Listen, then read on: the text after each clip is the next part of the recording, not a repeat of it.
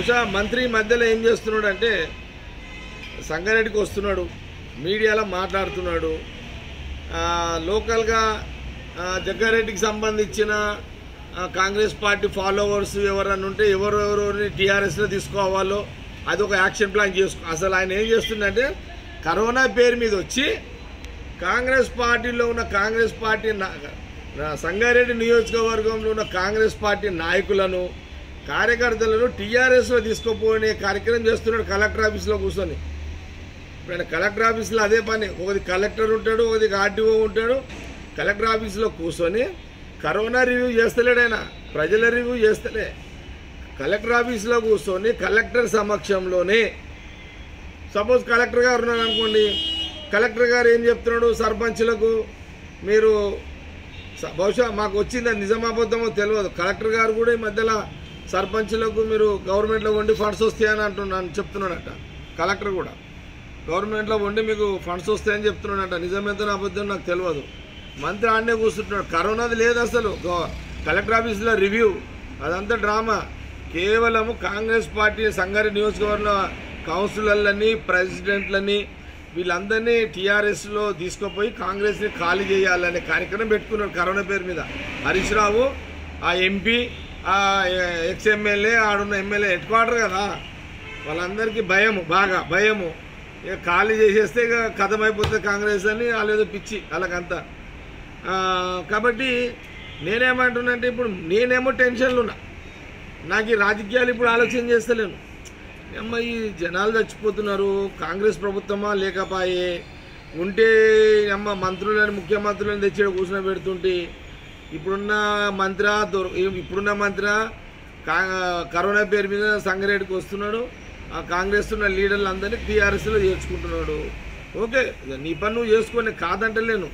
మా ఊళ్ళో నువ్వు ఎంతమందిని తీసుకోపోవాలో తీసుకోపో. నేనేం వద్దా మా వాళ్ళు వస్తానాక నువ్వేం చేస్తావు? మా వాళ్ళు ఎవరన్నా హాయిగా నేను ఒకటే చెప్తున్నా. మా వాళ్ళు నిజంగా నువ్వు పిలుస్తున్నావు వచ్చి నీ దగ్గరకు సుఖపడదామని వస్తున్నారు. వాళ్ళు సుఖంగా సుఖపెట్టు వాళ్ళకు సుఖంగా చూసుకో. వాళ్ళు నిజంగా సుఖపడతారంటే నాకు వచ్చే నేను హ్యాపీగానే ఫీల్ అవుతా నా దగ్గర ఎంతమంది అయితే నీ దగ్గరికి పిలుస్తున్నావో వాళ్ళందరూ నీ దగ్గరకు వస్తున్నారో. దయచేసి వాళ్ళ మోసం చేయకు. మళ్ళీ తర్వాత రోడ్ల మీద ఇడిచేయకు వాళ్ళని. వాళ్ళని సంతోషపెట్టు. నా దగ్గర అయితే ఏం లేవు. వాస్తవానికి కూడా నా దగ్గర పైసలు లేవు ఏమి లేవు. నా పరిచయాల్లో నేనున్నా.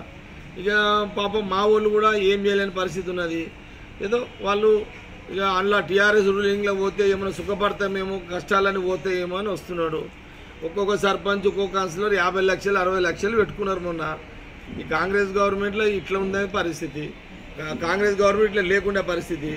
టీఆర్ఎస్ ప్రభుత్వం ఇట్లున్నది పరిస్థితి. కాబట్టి ఇక వాళ్ళ అప్పులు గిప్పులు లేవు, వాళ్ళ బాధలు వాళ్ళకు ఉన్నాయి. నేను ఎవరినేం తప్పు పట్టా కానీ నువ్వు కరోనా పేరు మీద మీటింగ్లు పెట్టి కాంగ్రెస్ లీడర్లందరూ తీసుకోపోతున్నది అది నాకు సిగ్గు అనిపిస్తున్నది. మంత్రి హరీష్ రావు. నాకు నాకైతే సిగ్గు అనిపిస్తున్నది.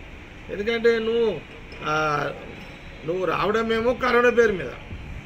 తీసుకపోవడమేమో కాంగ్రెస్ వాళ్ళని. నీకు పబ్లిక్ కాదు. సంగారెడ్డి నియోజకవర్గంలో మొత్తం మీద కాంగ్రెస్ లీడర్లందరినీ ఖాళీ చేస్తే ఒక్కడైపోతాడు. ఇక వచ్చే ఎలక్షన్లో తిరుగులేదు అనేది నీ వ్యూహం.